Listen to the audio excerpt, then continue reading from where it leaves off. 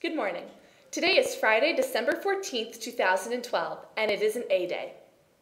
The Westchester County Bomb Squad K-9 unit will be giving a demonstration on Tuesday during 7th and 8th period in the auditorium.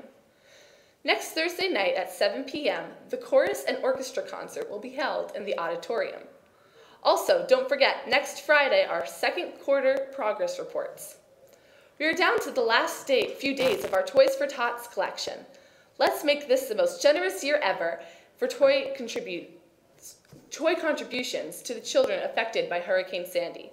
Please shop over the weekend and bring your gifts to the front lobby on Monday. Your thoughtfulness is greatly appreciated. The Panther Voice Club will meet next Tuesday directly after ninth period to take their yearbook photo. Safe Rides will be running Saturday night. If you need a ride home, please call 674 4845. Come check out the new community center tonight at 7.30 p.m. Pizza will be ordered.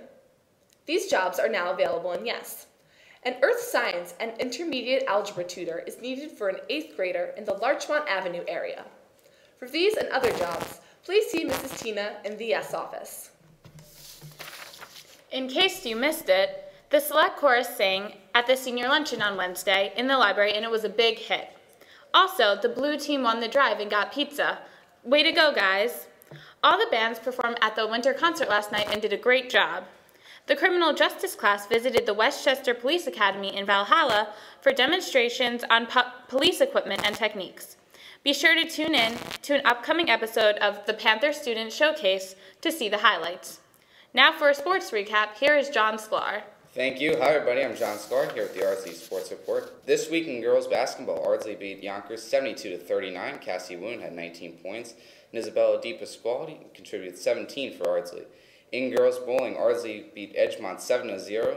Abby Osborne had 190 for the top score, and Ardsley later in the week also beat Scarsdale 5 to 2 with Michelle Cornick adding 159 for the Panthers. Now in boys basketball, Ardsley came up short against Yonkers, Somers, excuse me, 62 to 44. Tommy Foley had 15 in the loss. And that's the Ardsley Sports Report. I'm John Scar. We'll see you soon.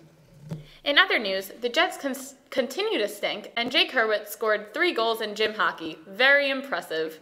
We'll see you next week, and don't forget, for other announcements on, Ards on the Ardsley High School homepage. And if you want your announcement in next week's version, email Mr. Capiello or Mrs. Goodman. Thank you and have a divine day.